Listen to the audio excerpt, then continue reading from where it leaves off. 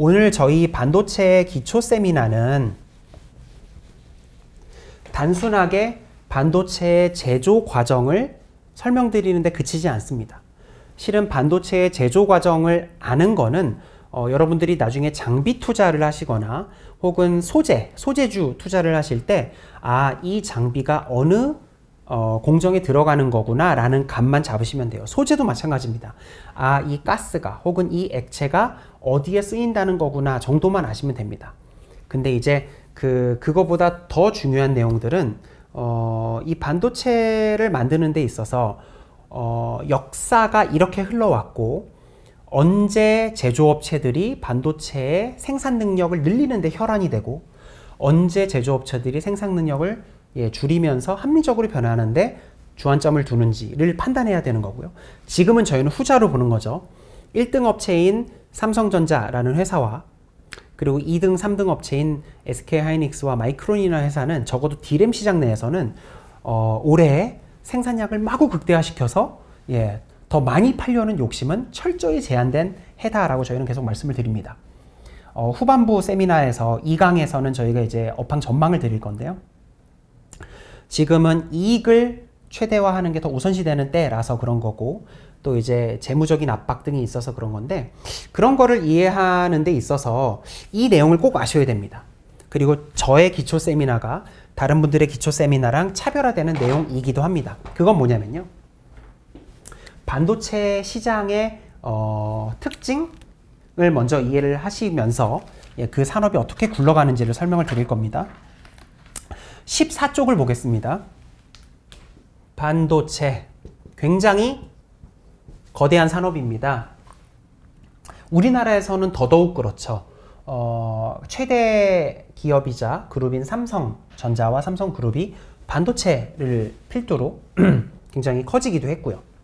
하지만 반도체는 두 가지로 나눠집니다. 이제는 이해하시는 분들 많을 거예요. 메모리라는 반도체가 있고요. 우리나라에서만 쓰는 용어입니다. 따라서 저는 이 비메모리를 가로 속에 넣도록 하겠습니다. 이제 로직 반도체 또는 시스템 반도체 영역에 이 비메모리 반도체 분야가 있습니다. 반도체는 매년마다 이제 시장의 규모가 좀 다르기는 한데요. 어, 가장 큰 요인은 메모리라는 그 반도체가 적을 때는 몇십조 원이고요. 그리고 2018년도였죠. 2018년도에 제일 커졌을 때에는 무려 예, 180조 원에 육박했습니다. 따라서 이렇게나 등락을 거듭하는 메모리 때문에 반도체 전체 시장의 규모도 많이 바뀌고요. 대략 뭐 500조 원 예, 내외의 크기를 형성한다라고 생각을 하시면 될 것 같습니다. 자 그러면 메모리가 이제 뭐 100조 원 초반에서 100조 원 중후반을 크기를 차지하기 때문에 이쪽을 계산해 보시면 아시죠? 어, 300조 원 대의 거대한 시장, 즉 메모리보다도 두 배 이상으로 큰 시장이 바로 이 로직 반도체, 시스템 반도체다라고 이해를 하시면 됩니다. 근데 안타깝게도 우리나라가 이 반도체에서 많은 이 부가가치를 창출하고 있지만 우리나라는 우물안 개구리, 뭐 너무 작게 축소해서 말씀드린 것 같은데요. 어, 굉장히 큰 우물 안의 개구리다라고 말씀드릴 수 있습니다. 왜냐하면 메모리가 요하는 제조 능력의 어, 기준과 로직, 이 비메모리가 요하는 제조 이 경쟁력이 상이하게 달라서 그렇습니다. 무슨 말이냐면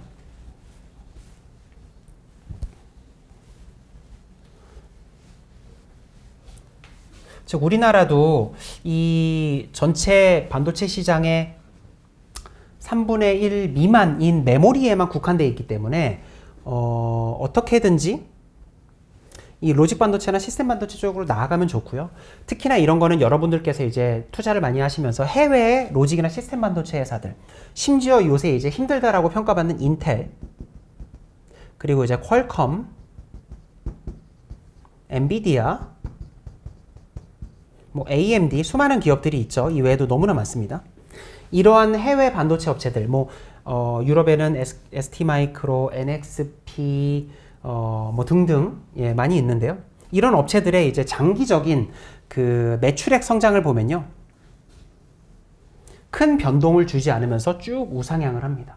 그에 비해서 예, 반도체 같은 경우는 메모리 같은 경우는 예, 들쑥날쑥 하고요.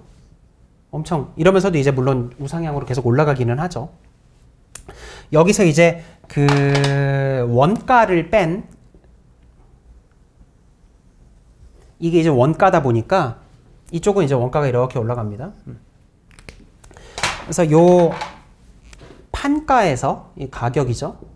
매출이자 가격. 요거는 원가.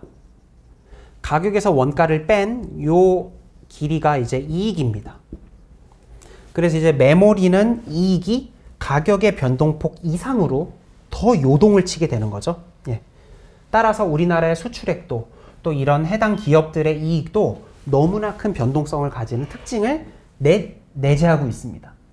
그에 반해서 로직이나 시스템 반도체 같은 경우는 큰 변동 없이 이 ASP, 즉 가격도 계속 오르고요. 고도화되니까 성능이 고도화되기 때문입니다. 원가는 당연히 이제 서서히 오르는 특징을 갖고 있어서 이 해당 기업들의 이익도 장기적으로 꾸준하게 우상향 되는 특징을 지닙니다. 그래서 이제 투자자 입장에서 보기에는 저도 이제 어 2007년도에 삼성증권에서 한 4년 정도 일을 하다가 저는 바클레이즈라고 하는 어 영국계 예, 그 글로벌 회사에서 5년 가까이 일을 했었는데요. 그리고 여기 메리츠로 이동을 했습니다만 외국인 투자자분들은 메모리를 물론 우리나라에선 메모리가 크지만 이 전체 글로벌 투자자 입장에서는 메모리는 되게 국한돼 있죠. 반도체 내에서도 3분의 1도 안 되니까요. 근데 메모리에 큰 이제 비중을 실기를 되게 부담스러워합니다. 왜냐하면 이 변동성이 너무 크다 보니까 나는 내년도를 이렇게 예상을 했는데 예 이게 유지가 될 줄 알았는데 너무나 극심하게 쪼그라드는 산업을 경험하기도 하고요. 이쪽 이 소위 우리나라에서 비메모리라 일컬어지는 예, 이 시스템 반도체 쪽이 좀 더 안정감을 주고 예측 가시성이 높은 어, 이런 특징을 가져서 이런 업체들 또는 어, 이런 반도체 업체랑 이런 메모리 업체에다가 장비를 공급하는 이 글로벌 장비 업체들, 글로벌 장비 업체들은 예, 많습니다. 노광기로 유명한 ASML도 있고요. 예, 최대 장비 업체인 Applied Materials라는 회사도 있고요. 예, Lam Research라는 회사도 있고 이런 것들은 이제 저희가 나중에 장표로 올려드리도록 하겠습니다. 이런 기업들을 더 선호하는 특징을 갖습니다. 왜? 이쪽은 너무나 변동성이 큰데 이쪽은 안정적이니까.